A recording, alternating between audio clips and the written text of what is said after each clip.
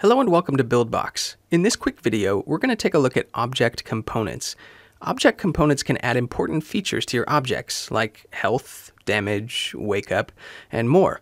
Before we continue, it's important to understand that there are two different states of objects. First, you have the object asset, which is over here in the left-hand side. So this triangle, this enemy we have in our game, is the object asset. Now in the scene editor, we have multiple units of this object asset, which are copies of the asset, and we just call them units. We can add components to both the asset level and the unit level. But first, let's take a look at the asset level. So if I select the asset over here on the left, and then head to the options over here on the right hand side, you'll see we have many different options, including animation, sound, and then at the bottom this add component button. If I click this button, you'll see a couple extra options you can add to the object asset, including Advanced Move, which lets you control an object through a button on your UI screen, Damage, which lets you choose how much damage this asset will give if its unit is chosen to be an enemy, Rotation Mapper. This is a very advanced object asset component that allows you to assign an animation sequence to the rotation of an object. This is typically used to create realistic 3D effects in your game.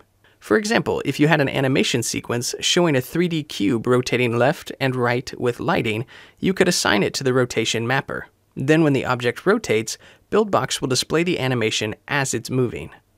And finally, we have the health option, which is already added to this particular asset. This is how much health it will have if you attempt to damage a unit chosen as an enemy. Now let's check out components on an object unit level. So I'll select one of the units here in the scene and if I click Add Component again, we currently have two options, but we do have plans to add more. Wake Up allows you to make the object wake up and start moving after you reach a certain distance or collide with it. And the spawner component will spawn this unit over and over at a speed of your choice.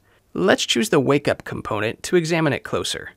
As you can see, when we choose a component, it's highlighted in yellow with its options below. We can always collapse and hide this component if we like by clicking these three dots and choosing collapse, and we could also delete the component by choosing delete. The collapse option can be very useful if you have multiple components open.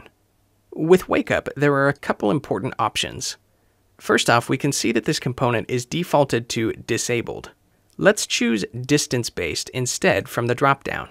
Now, any changes we make to this object, like adding speed to its linear and angular velocity, will only take effect when we get within 0 pixels of this object's center.